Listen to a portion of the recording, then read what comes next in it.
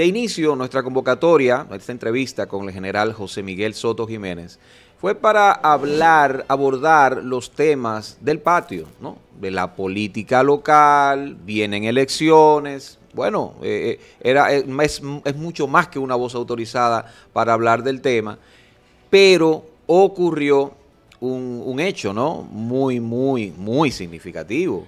Eh, la madrugada del domingo, pues unos drones de Irán invadieron, penetraron espacio israelí y eh, lanzaron eh, misiles sobre sus bases, sobre bases militares. El 99% dice, Irán, dice Israel de esos ataques, de esos misiles, fueron repelidos totalmente, pero también Irán eh, se cuelga la, la medalla de decir, pasamos, traspasamos esa cortina de hierro que tenía Israel de que su espacio supuestamente es infranqueable y lo, y lo pudimos penetrar, ¿no? O sea, ambos, digamos, se están colgando esas medallas. Esas medallas. Hay rumores, general, de que en el mundo eh, lo que viene es una, un tercer conflicto a escala mundial.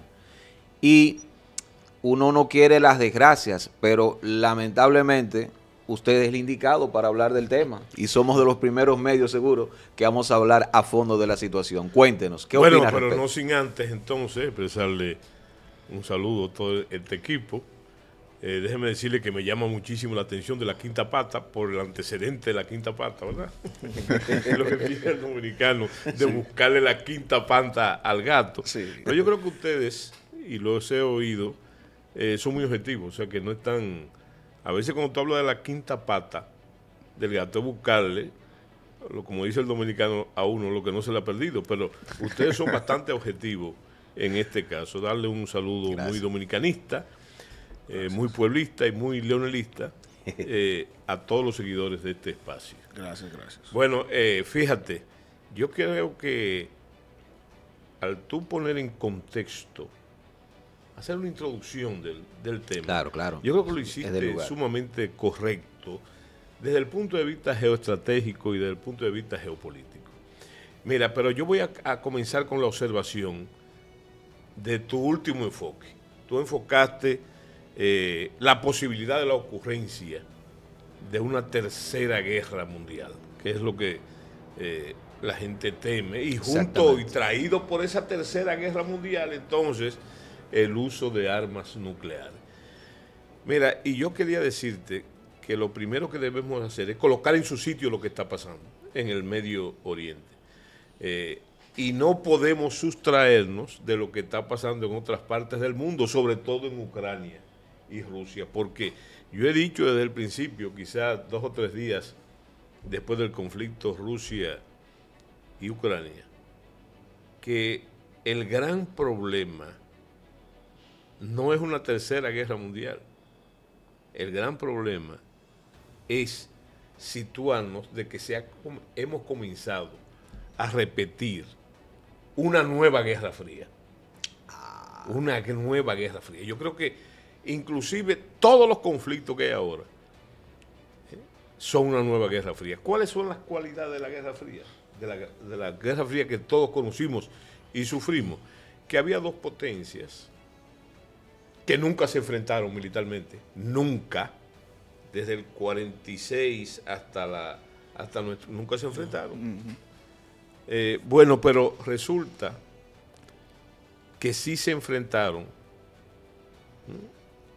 los demás, y eso quiere decir sus eh, seguidores en términos geopolíticos, en sus áreas de influencia, se lo disputaron. Y entonces a la gente parece que se le ha olvidado los grandes conflictos que originó eso. No se llegó a una tercera guerra mundial, no se llegó a un conflicto nuclear, pero mira, para así mencionarte, solamente del área donde estamos, se produjo la guerra de los seis días, se produjo la guerra del Yom Kippur, ¿verdad? Y una secuela. Pero también hay que meter ahí lo que fue el conflicto de Afganistán y además que nos toca a nosotros un episodio de la Guerra Fría, lo que fue todo el, en ese periodo la lucha entre lo que ellos llamaban, o sea, lo que los capitalistas llamaban la subversión comunista internacional, que se tradujo aquí, siguiendo el modelo de lo que pasó en Cuba, en guerra de guerrillas. Eh, las potencias tienen un, una división para estos conflictos, para los conflictos militares, eh, que realmente no corresponde, voy a explicar por qué, a lo que nosotros pensamos, a lo que nosotros, a la realidad, a nuestra realidad. Ellos, ellos dicen que hay un, los conflictos son de primera intensidad y de primera intensidad son los de las grandes potencias, los de mediana intensidad cuando son eh, entre fuerzas ¿verdad? que son más y países más contundentes, pero cuando se trata de los conflictos en el llamado tercer mundo, al que pertenecemos nosotros, y hay que hacer la observación de que es una, eso del tercer mundo, es una creación de la China, de la China de Mao, eso del tercer mundo. Bueno, entonces, entonces son de baja intensidad. Bueno, pero de baja intensidad. Se puede decir que lo que pasó en El Salvador, o lo que pasó en Nicaragua, o lo que pasó hasta en nuestro... Fueron conflictos de... Para ellos son conflictos. De baja intensidad. pero para nosotros son de altísima intensidad, ¿verdad? Entonces, este conflicto, y yo voy a decir, estoy hablando del preámbulo, yo creo que es uno más de una nueva Guerra Fría. Como la otra Guerra Fría, siempre hubo el peligro permanente de que se convirtiera en una, tercera guerra mundial, siguiendo esa división que se ha hecho de los grandes conflictos universales que involucran la beligerancia de muchos países o de todos los países. Bueno, pero entonces, fíjense, también, y es muy importante, el gran problema de la Guerra Fría, de aquella Guerra Fría, es uno que persiste hoy, es el peligro de las del uso de armas nucleares o de un conflicto nuclear. En ese aspecto yo tengo la convicción, la convicción de que no hay posibilidad, más allá de lo que se usa esas armas para la disuasión, la contención, etcétera, para que ocurra un incidente así. Eh, yo no quiero ser profeta, eh, pero te, estoy diciendo que eh, hay una razón evidente, práctica, que hay que demasiado que perder, porque una vez cualquiera, en cualquier, en, un incidente eh, como el que ha ocurrido en el Medio Oriente ahora, con esos ataques, ocurre una, se usan armas nucleares y nadie va a poder meter el genio en la botella de nuevo, porque la estructuración eh, de esas armas a nivel estratégico está hecha y ese es el gran peligro, de que sea incontenible después el uso masivo o la retaliación masiva en muchísimos de los casos. Entonces, yo pienso que eso ni en, en ninguna parte en esta nueva Guerra Fría va a ocurrir eso ahora. Donde hay más posibilidad de que ocurra, y de ahí la gravedad que tú has hecho, es con este conflicto. Y fíjense una cosa, sin pretender ser oráculo ni nada por el estilo. Yo lo había dicho ya, yo lo había señalado, eh, por, por una cosa simple, que es la diferencia con la otra Guerra Fría. Miren, en la otra Guerra Fría había dos potencias. Dos potencias. ¿Eh? Exactamente. Y sus aliados. Bueno, está bien. Pero ahora el club nuclear ha aumentado. Entonces no podemos sacar del paquete a China, que es una potencia nuclear también. Pero también hay otros países, inclusive subdesarrollados, que tienen armas nucleares y eso es un peligro. Por ejemplo, ahí tenemos a Irán, digo, tenemos a Pakistán, tenemos la India, ¿verdad? Eh, tenemos a Corea del Norte. Sí, Corea del Norte. Entonces, el, el club ha aumentado. ¿Y qué tiene que ver con eso, con que el club haya aumentado? Que a mí me enseñaron en las escuelas militares que el mando es control. Las dos potencias tienen, han creado un mecanismo para de control, de control de esas armas, ¿verdad? Eh, aunque se ha jugado muchísimo, sobre todo cinematográficamente, de que el genio se escape de la botella por un hacker o por alguien que finja un ataque en las pantallas. Hay varias películas. Sí, sí, hasta un niño. Muy, muy fantasioso. Sí, sí. Eh, entonces, sí, pero cosas que pueden ocurrir, ¿eh? cosas que pueden ocurrir. Yo lo que digo es que se ha llegado a un momento en la tecnología, eh, lo que yo me refería al control, de que esa potencia, eh, esos dos, los grandes bloques, que no son ya como antes, estoy hablando de Rusia, la ex Unión Soviética, y los Estados Unidos desarrollaron, vamos a llamarle un protocolo de control para que el genio no se salga de la botella. Ahora bien, con esa expansión del club nuclear, hay peligro. Y en el caso este que nos ocupa, yo decía antes, y lo digo ahora, que hay un peligro grave. ¿Por qué? Porque según las últimas mediciones, y hay una organización que se ocupa de eso, de, eh, se puede buscar en YouTube a propósito, de, de la cantidad de armas nucleares. Según la última medición, Israel tiene 200 cabezas nucleares. Eso se había antes especulado, ¿verdad? Pero fíjense, yo le estoy diciendo, hace 20 años que tenía 200 cabezas nucleares. O sea, que ahora va por el doble. No, yo no creo que tenga mucho más. Primero porque no la necesita, o sea, no la necesita en ningún Exacto, de 50 a 200, ¿cuál es la diferencia? Sí, exactamente. y además, porque hay que calcular que la producción de armas nucleares es sumamente cara sumamente cara. Bueno, pero tiene 200 armas nucleares. Y entonces ustedes saben muy bien que en el caso de Irán hay una larga, eh, un, largo litigio, tirijala como nosotros decimos, Exacto. con que ellos están, han estado cerca de tener armas nucleares, si no la tienen ya. Si no la tienen ya. Y ese ha sido el gran problema y el la gran diferencia, más allá del petróleo, con el caso de Estados Unidos. Pero déjame, decirle una cosa también. Interesante en términos tecnológicos. Eso se sabía ya, eh, se sabía, porque se había desarrollado. Ustedes saben que yo estuve en Emiratos Árabes como embajador. Y entonces, yo siempre, eh, no es una broma, pero yo le decía a mis colegas diplomáticos, ellos tienen una cosa muy parecida al malecón, al malecón de aquí, ¿eh? ese mismo ambiente. Y al frente de ese malecón, en la profundidad, en el horizonte, está Irán. Y yo le decía frecuentemente, eh, para señalar el peligro geopolítico, geoestratégico, que significa que siempre hay tensiones y tensiones armadas ahí. Yo le decía, de momento nos levantamos nosotros y vemos un hongo que se levanta en la frontera, allá en el horizonte. Sí. Eh, señores, el gran problema es que yo decía que la tecnología que han alcanzado los iraníes con respecto precisamente a los drones es una cosa asombrosa. Ellos son una de los, fuera de las potencias, de las grandes potencias, uno de los fabricantes más importantes de drones. Y según una fotografía que yo vi de uno de los misiles o de los drones, también eh, han alcanzado gran optimización en cuanto al tamaño, porque si usted ve los misiles anteriores, los misiles, eso tiene sus limitaciones también, sobre todo en el tema que ustedes hablaron de la cantidad de misiles que cayeron.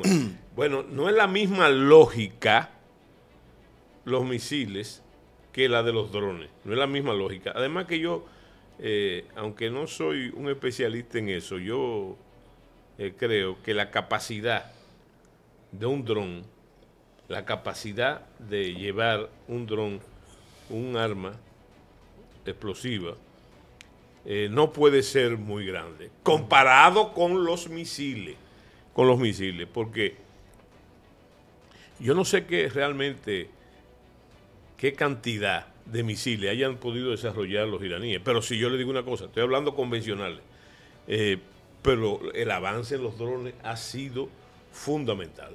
Y te lo, y te lo vuelvo y te, lo repito porque, eh, por ejemplo, países fronterizos, y fíjense que eso está a más de una hora de, distancia, una hora de, de, tiempo de vuelo, según he visto en la prensa, pero eh, los Emiratos están bajo acoso Totalmente. De los drones, de los drones. Totalmente. Y entonces ellos han desarrollado, como en otras tecnologías, por eso que yo digo la cercanía, que ellos podían estar de tener armas nucleares y sencillamente hay un indicio fundamental y es que ellos tienen están construyendo, han estado construyendo, por cierto Israel la destruyó uno, eh, reactores para enriquecer los materiales radioactivos, uranio, plutonio. entonces, yo lo que pienso, si uno ve la escalada, ¿qué es la escalada? Fue lo que más o menos ustedes hicieron. La escalada es cómo se va desarrollando el conflicto, ¿verdad? Hasta llegar. Bueno, entonces, eh, en ese aspecto yo quiero decirle algo interesante. Ustedes saben el conflicto anterior. Pero a ustedes no les llama la atención ¿eh? que hay que hablar de la franja de Gaza, lo que pasó en la franja de Gaza. A usted no le, llama la atención. Eh, hay que tener buena memoria y yo me la doy de que la tengo. De que el ataque que se produjo desde la franja de, Gaza ¿eh? con el pueblo palestino, señores, fue con drones y con misiles. Yo no conozco que a esos niveles, sobre todo como se le ha indilgado en el caso de que son subversivos, usted no le llama la atención que no tiene capacidad industrial para hacer ese armamento. Entonces, eso tiene un nombre y yo lo analicé también. El nombre que tenía era Irán. Sí, Sí, Aunque a Irán al principio se despojó, después lo, asumió. Inclusive provocó otros conflictos con el caso de Yemen, etc. Pero miren un detalle. Hay que poner eso también en contexto. Y si ustedes me lo permiten, yo lo voy a poner. Si no tienen otra inquietud. No, eh, bueno, no, antes, antes de eso, em, eh, quería decir que eh, muy interesante lo que dice de que de que nunca se enfrentaron y de lo que vamos a camino es otra guerra fría. Exacto. eso, está desarrollando. Sí, estamos, en guerra fría. Y es la guerra fría el proceso del desarrollo de más potencia. Claro. No, esa es la diferencia, que la que tú mencionas, esa es la gran diferencia, que antes el club tenía dos, ahora el club tiene muchos más. Sí, ¿Sabes que yo le agrego, Maracayo? Escúchame, brevemente a eso es real, que era parte de mi inquietud después de Maracayo, para que usted lo aborde.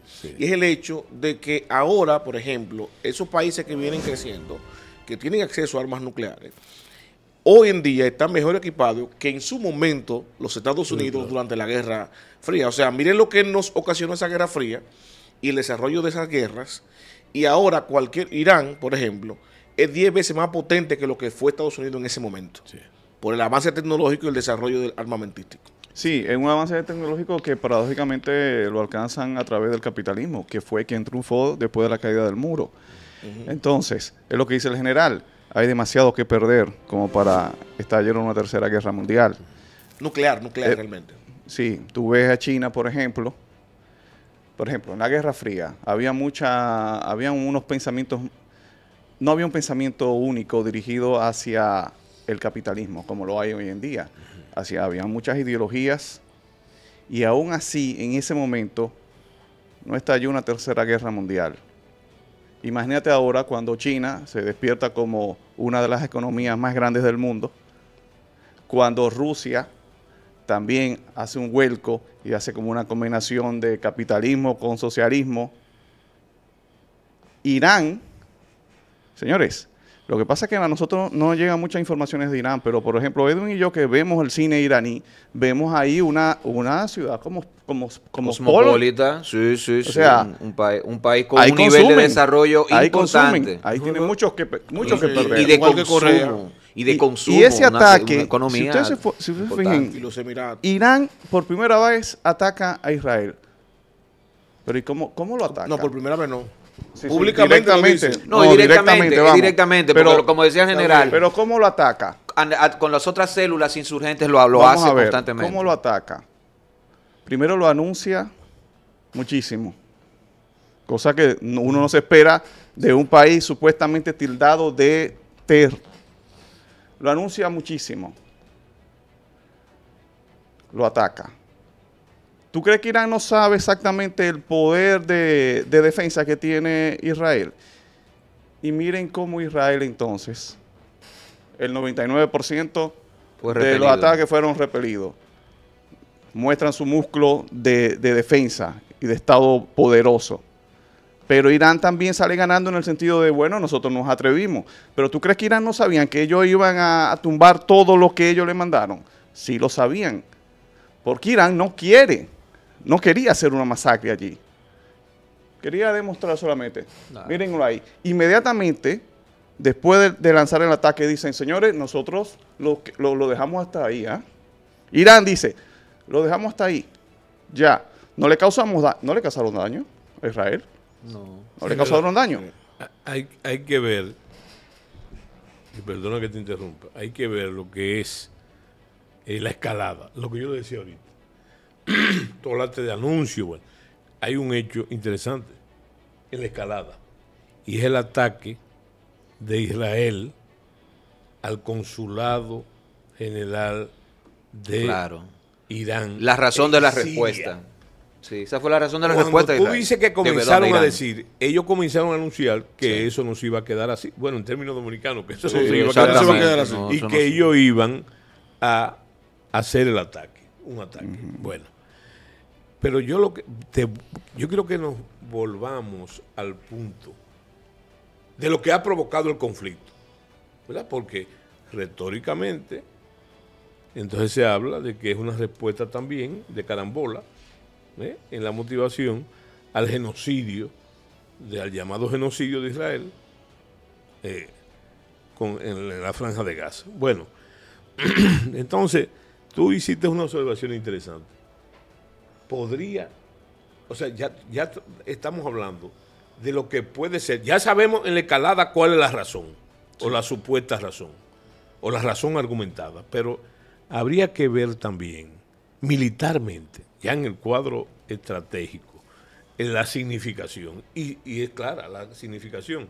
Lo primero, lo que tú dices, cosa que no es simplemente una especulación, es que ya ellos tenían una información, vamos a llamarle de reconocimiento real, con el ataque a Israel. El ataque que se le hizo a Israel, que como en la guerra de Yom Kippur, eh, provocó niveles eh, evidencia de niveles de sorpresa importantes. Sí, sí. O como lo sorprendieron. cogieron a Israel con los pantalones abajo.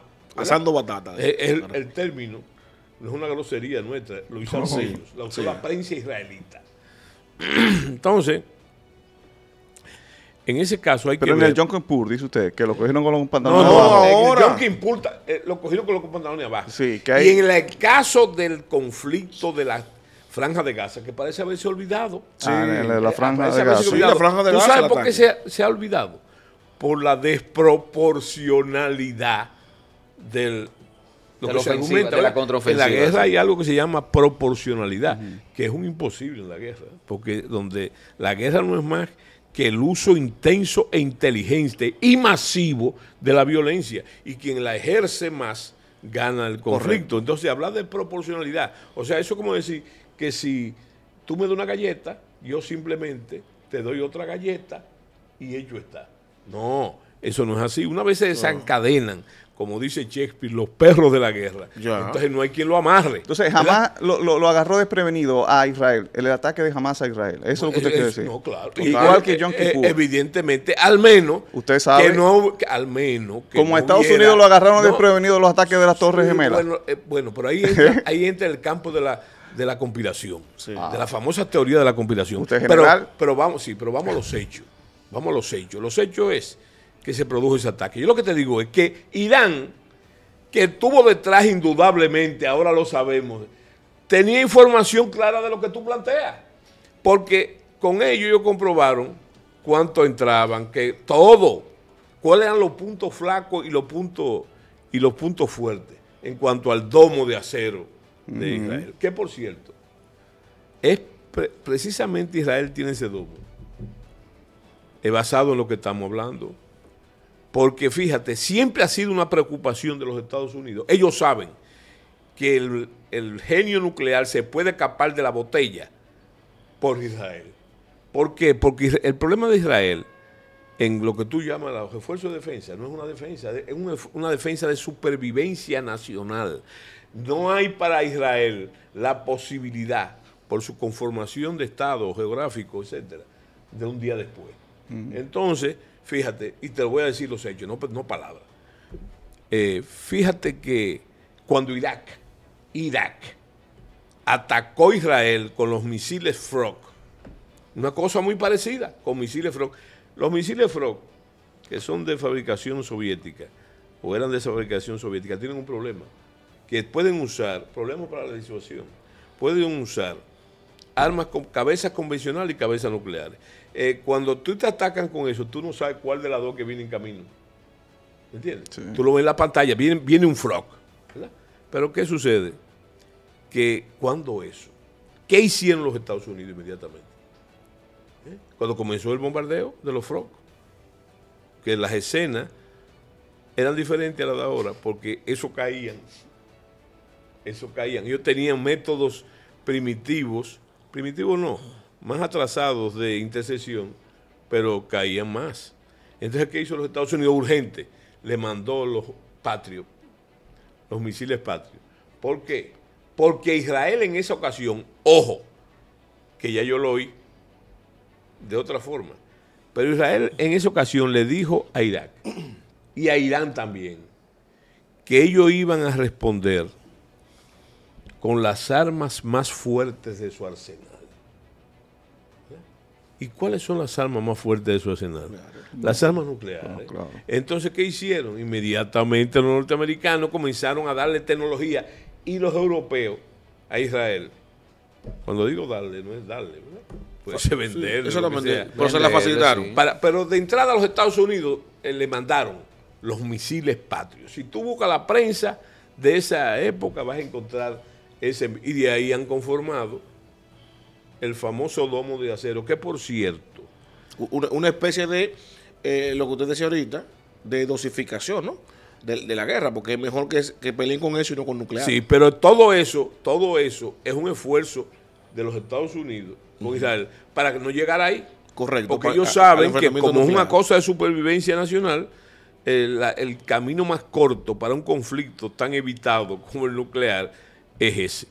Ahora, si tú sigues eh, el desarrollo de los acontecimientos, hay un ligero cambio. ¿eh? Para que tú veas lo que son los intereses de las grandes potencias, porque a nadie le puede ocurrir no saber que Israel es, un aliado fundamental de los Estados, Unidos. Es más un protegido de los Estados Unidos permanentemente. Quienes dicen que la guerra está llevando a Estados Unidos. entonces es un pedazo de Occidente ahí. Pero fíjate cuál es la preocupación ahora. Yo no sé si ustedes lo han notado eso de que dejen el asunto ahí. Es una proporcionalidad. Tú me empujaste, yo te empujo. ¿verdad? Estoy hablando del empujo, eh, del empuje, estoy hablando del caso del consulado, eh, del consulado en Siria. Entonces, eh, déjalo a ella. Ya, ¿verdad? Tú demostraste que sí o qué. ¿Qué es lo que está evitando? Que una buena jugada de No, no, la retaliación. La retaliación. Porque mira cómo dice oye, qué interesante, porque tú ves lo que es eh, la otra guerra, la guerra de las palabras y las ideas. Oye lo que declara el Ministerio de Defensa israelí, ¿verdad? que fueron movilizados los aviones, los escuadrones del juicio final. O sea, esos aviones, ¿qué es lo que están diciendo? Que ya prepararon sus armas nucleares. Sí, sí. Que están eh, eh, listas para ser enviadas. pero oigan qué nombre más. El juicio final. el, juicio final. ya ahí dándole, dándole la, la, la, digamos, la categoría de, de religiosidad. De lo, que, de, lo que puede causar eso. el, apocalipsis, el apocalipsis. El apocalipsis. Pero oye, oye, digo, no es un invento de Soto, ni tuyo, ni de nosotros. No, no. Eh, el escuadrón se llama el, escuadrón del juicio final, que es un escuadrón para proyectar sus armas estratégicas nucleares. Ellos lo dicen así, pero es, la, lo mismo que ellos dijeron. Vamos a usar lo más fuerte de nuestro armamento en aquella ocasión, ¿verdad? Ahora dice. Eh, entonces, ese es el peligro. Fíjate que los Estados Unidos, más que eso, más que el asunto del juicio final, señores, eh, Israel tiene capacidad para hacer lo mismo y en mayor volumen ¿verdad? Que lo que pasó con Irán, del bombardeo este de Irán, de, la, de los misiles. Eh, pero sin embargo, ellos saben que va a ser desproporcional también, aunque Irán sea una potencia tecnológica. ¿Tú sabes por qué? Porque ya lo hicieron ya. Cuando estaban, ustedes no se lo, bueno, pero miren, cuando estaban haciendo el asunto este del, del reactor nuclear, Israel no le pidió permiso a nadie. No, hizo, hizo una incursión aérea, ¿verdad? Y desbarató la cosa. Tú sabes que Israel, eh, preservando su seguridad, porque también hay que ver a juego la palabra, Irán ha dicho más de una vez que ellos van a destruir el pueblo eh, la aniquilación del pueblo judío. Entonces, ¿qué han hecho ellos? Todos los, aparte de esa incursión, los científicos nucleares en Irán, ellos han eliminado, por decir así, usando una palabra, aniquilado esos, esos científicos mediante operaciones de comando y lo han eliminado, señores, pero el jefe de las fuerzas eh, iraníes, ustedes, fíjense una cosa, usted se le olvidó, miren este detalle importante, el jefe de las Fuerzas Armadas y líder de las Fuerzas Armadas, un matatán, lo que nosotros llamamos aquí un matatán, Sí. él, los, judí- los judíos se lo tiraron. Sí. Bueno, ahí se habla de que fueron los Estados Unidos. Sí, sí, ¿verdad? sí, fue en Eh, bueno, Trump, pero, de hecho. pero fíjense, entonces, ¿qué dijo Irán en ese momento? Que ellos no- eso no se quedaba así, que ellos iban a vengar.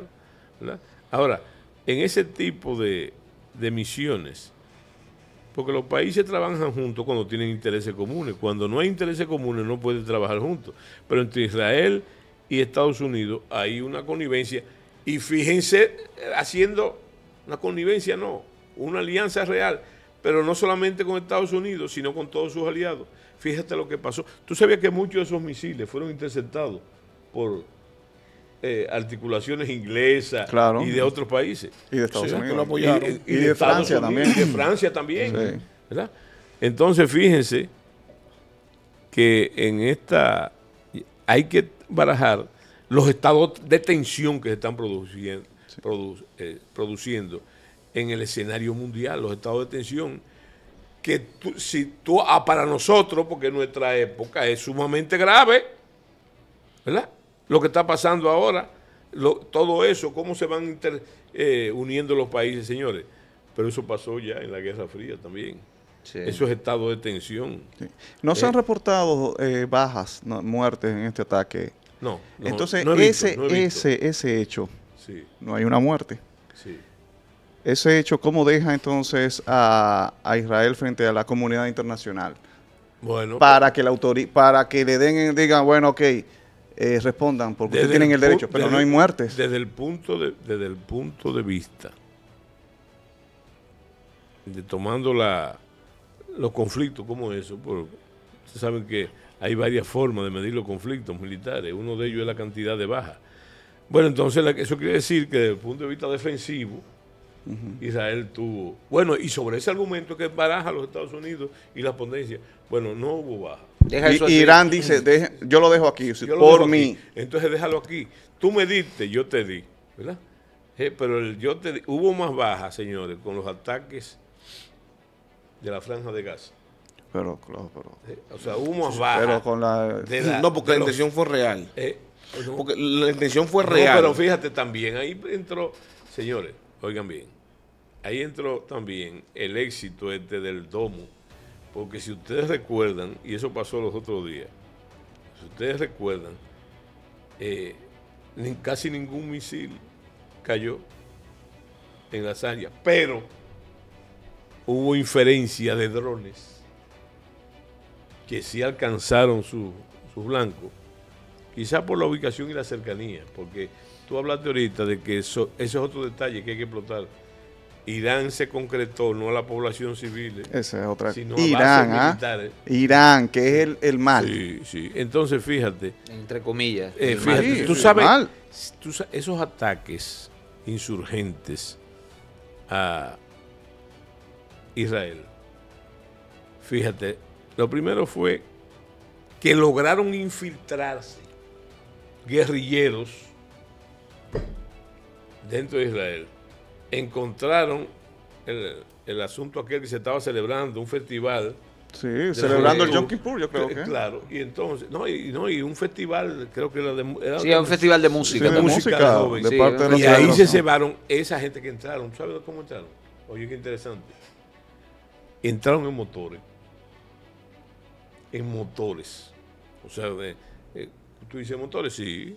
El- lo que usan los sicarios en Colombia y en otras partes, se, montan ahí. Y entonces con armado, con granada y con... Pero también otro elemento interesante. Se metieron en parapente. Ah, sí. Oh, sí, para Sí. Ese, comandos en parapente, ¿verdad? para actuar en tierra. Y esa fue la mayor, el mayor número de bajas realmente, no las explosiones de los... Se calculan, creo que fue en 1500 bajas. Sí, sí, aproximadamente 1500. Eh, calculando también lo que hicieron los, el porcentaje de misiles que hicieron blancos. Sí. General, no sé si usted pudo ver la respuesta del gobierno dominicano ante esos ataques de, de Irán a Israel y, y- y rechazó los ataques, ¿no? El gobierno, el gobierno dominicano, Sí. ¿no?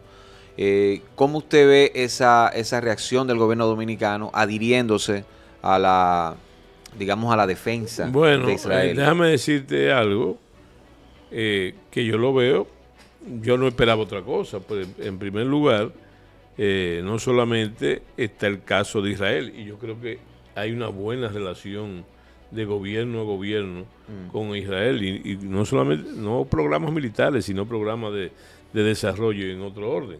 Pero hay que también ver, y, eh, ya no tiene acostumbrado al gobierno a eso, ¿verdad? Y eso influye en su doble discurso. Una dominicanada, ¿con quién está papá? ¿Verdad? Y se va por donde está papá. ¿verdad? Eh, con la moderación que caracteriza a papá. ¿verdad? Estoy refiriéndome a los Estados Unidos. Sí, sí, sí, por supuesto. Y por entonces, eh, en ese sentido, yo creo que eh, no te puedo hablar de pertinencia y oportunidades, porque hay que ver cómo se desarrolla el juego, ¿me entiendes? Yo creo que ya están las piezas puestas en la mesa para que se quede ahí.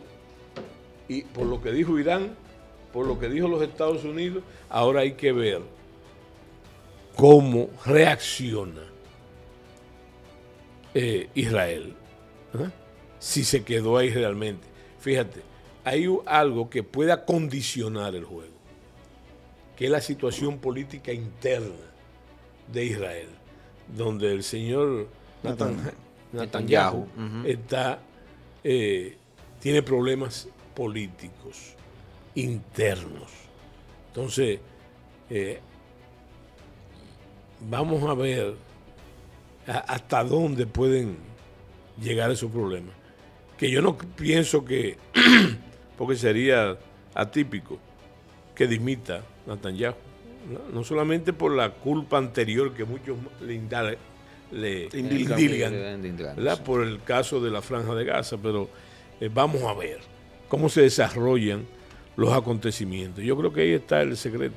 No, y este ataque de Irán a Israel, yo creo que le da un respiro, le echa una mano a, Sí, sí, claro que sí. Claro, Y claro. más No, con pues- el, el éxito que acaba de porque, tener de la defensa. Es que era un comandante en jefe. No, pero que eso se parece mucho, escúcheme, lo interrumpo, eso se parece mucho al ataque anterior, que supuestamente fue una sorpresa para ellos y justificó el contraataque. Y uno se preguntaba por dónde está la superdefensa de, de Israel, ¿verdad? Ahora, que pareciera real, la defensa sí funcionó. O también se especula que pudiera ser otra simulación. Ahí es que está el daño. El daño está para Israel que aquella aureola de invulnerabilidad, Correcto. de inefabilidad y de eficiencia podría, podría ponerse en duda En duda. ahora. Pero que para mí ese fue el objetivo del ataque de Irán. bueno, pero hay que ver también los detalles. Porque yo le decía del desenlace. Del desenlace. Mi- Miren una cosa. Qué bueno. Fíjense, ¿cuándo ocurre realmente el primer ataque? ¿Mm? Fíjense, de la guerra del Yom Kippur, ¿Mm? que fue en el, creo que en el 73, Sí, Sí, 73. 73, sí. entre- al 24, ¿cuánto hay? ¿Cuántos años hay? Eh, 50 y... No, no, cuare- cua- al 24 no. sí, sí, sí, sí, al 24 son 51 años. 52, sí. Sí, 51, yo le pregunto a 52 ustedes, años. Uno, hay que 51. ver qué cosas pasaron. 51. Y ahí es que está la explicación de todo. Miren, eh, en las cosas que pasaron fue que Israel firmó un acuerdo de paz que ha prevalecido con Egipto, que era la piedra pesada. Ha firmado con varios países de los llamados países árabes y ha tenido una paz funcional, incluyendo intercambio comercial. Y le voy a poner dos casos para no meternos más ni ampliar mucho el asunto. Recuerden, recuerden que Israel hizo relaciones con Emiratos Árabes y está a punto de hacer relaciones con Arabia Saudita. Eh, Ustedes sabían que en este ataque Arabia Saudita tumbó misiles. Sí, Irán. sí, sí. ¿Eh? Sí, sí. No, yo no sé eso. Arabia Saudita. Sí. Sí. Arabia Saudita tiene diferencia con Irán hace muchísimos Hace años tiempo también. y los Emiratos también. Sí, los Emiratos también, sí, sí. Entonces, yo lo que le estoy diciendo es. Porque son ramas diferentes del Islam. Al hacer comparaciones, en el conflicto. al hacer comparaciones, ¿verdad? el pasado siempre es fundamentalmente ideal para los referentes, ¿verdad? Y usted puede analizar cosas. Pero no cojan la temperatura del, del Medio Oriente como la, a nivel del Yom Kippur, porque pasaron muchas cosas. Entonces, lo- el mundo árabe, esa, esa unión que había a- antes de la guerra, en- hasta la guerra de Yom Kippur, donde el líder era Egipto, todo eso cambió. No hay esa beligerancia contra Israel, ¿eh? Contra Israel. Es prácticamente irregular. ¿eh? Pero ¿quién es el único que mantiene el fogón al- ardiendo en esta situación? Es Irán. Ahora, Irán en la medida que Israel camina haciendo amigos entre el mundo árabe, pierde ese liderazgo a que aspira Irán.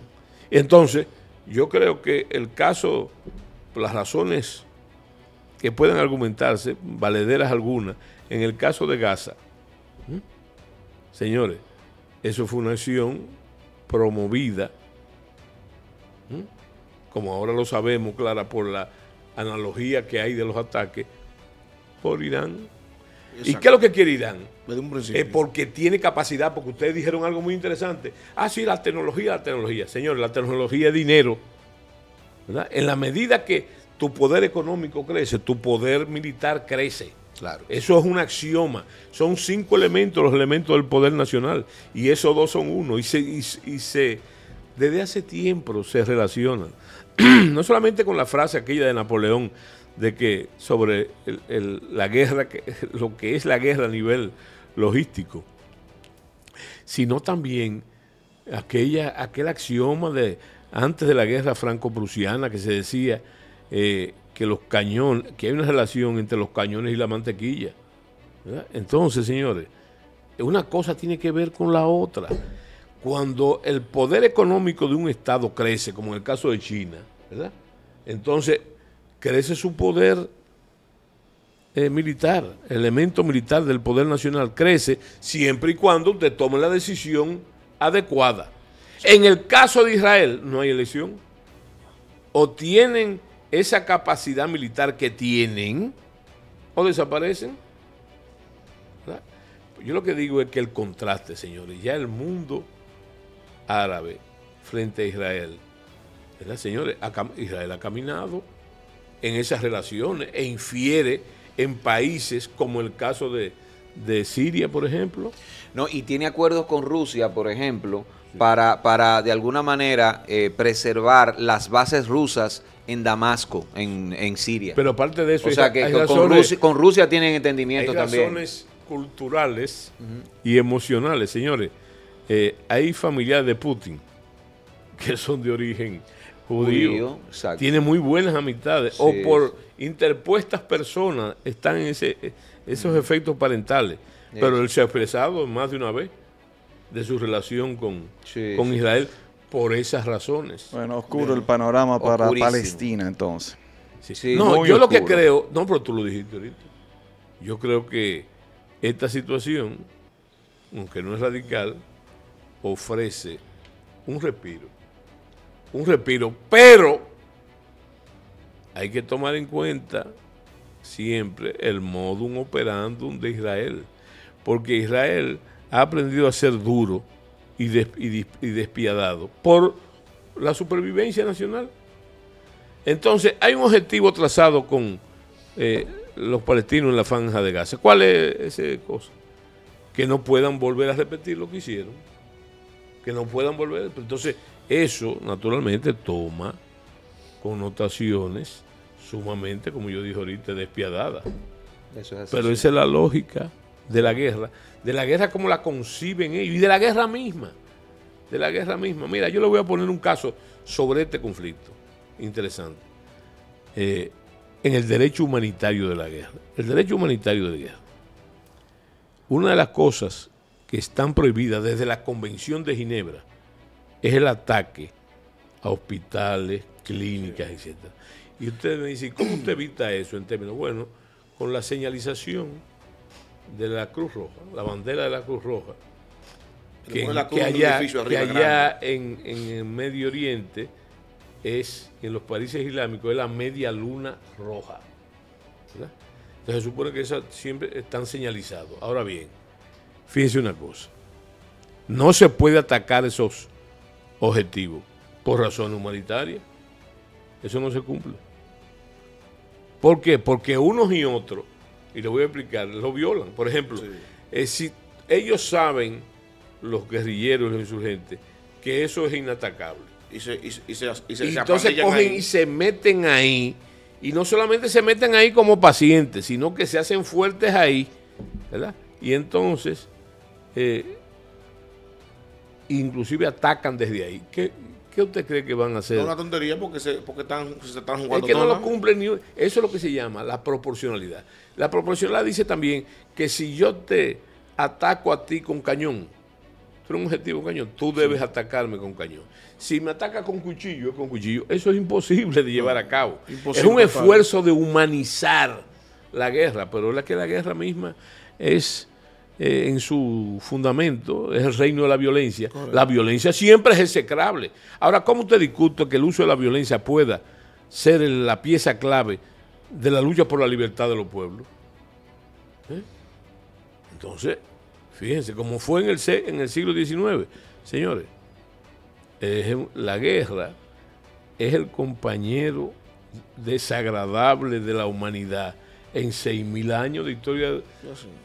Eso sí, en la, guerra, no puede existir la proporcionalidad. y eso es lo que ha definido a las naciones. Señores, muchísimas gracias, muchísimas gracias, eh, General José Miguel Soto Jiménez, por estar con nosotros en este diálogo interesantísimo sobre la actualidad en el conflicto Irán y, e Israel. Un nuevo capítulo y la revelación que hace el general es para no perdérselo. Recuerden, Mario Herrera, José Maracayo, Edwin Cruz, La Quinta Pata.